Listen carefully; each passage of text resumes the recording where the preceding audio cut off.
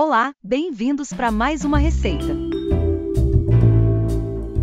Hoje a receita é escondidinho. Não esqueça de curtir o vídeo e assinar o canal. Vamos lá! Ingredientes: 300 gramas de macaxeira, 300 gramas de carne de charque, 200 gramas de requeijão, 100 gramas de queijo coalho ralado,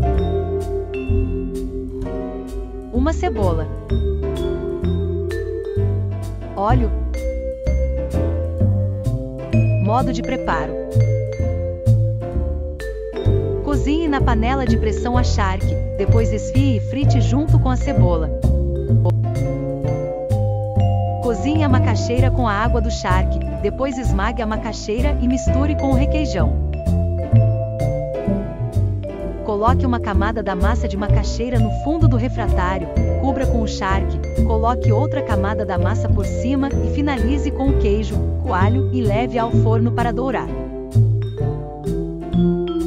Pronto. Obrigado por assistir.